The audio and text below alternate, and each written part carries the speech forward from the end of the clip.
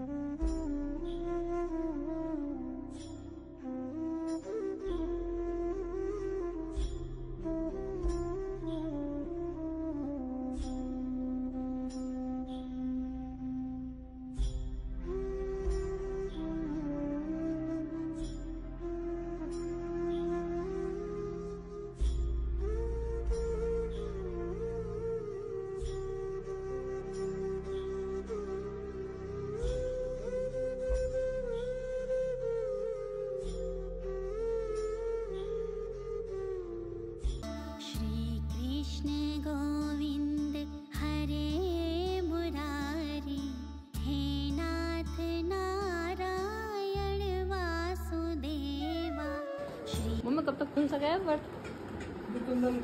कितना टाइम हो जाएगा साढ़े बारह दो घंटा हो रहा है। टीवी चला। खाना रात के साढ़े दस बजे बना कान्हा जी। ये दो दिनों में अब याद आई है कान्हा जी बनने के हैं?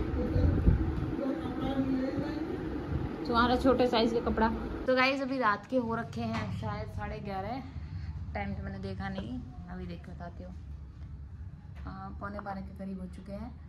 और अभी देखो कितनी देर है चाँद निकलने में, खाना फास्ट खुलने में। मतलब भूख तो बहुत ज़्यादा नहीं है, बस प्यास प्यास लग रही है कि प्यास हो जाती है। इस टाइम में ना वेदर ऐसा होता है तो प्यास ही ज़्यादा लगती है, खैर। और यह है खाना, आलू गोभी की सब्ज़ी, मटर पनीर की सब्ज़ी, आटा रखा ही है और रायता। रायता शायद ख़त्म है, थोड़ा सा और बना लेती हूँ।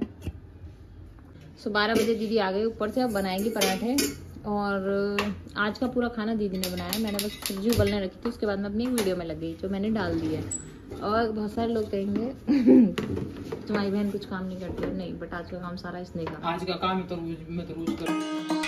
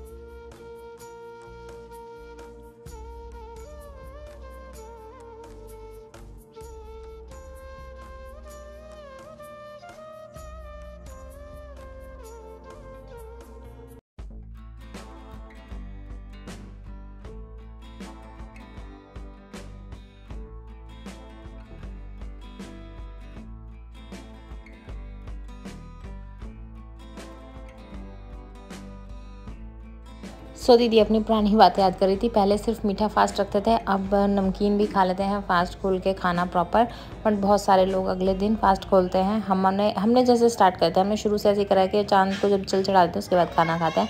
आप लोग कैसे करते हैं, बताना ज़रूर कमेंट में मिलते हैं। आपसे अब नेक्स्ट ब्लॉग में, तब तक के लिए बाय बाय टेक केयर ध्यान रखिए अपना। जय श्री कृष्णा, राधे राधे।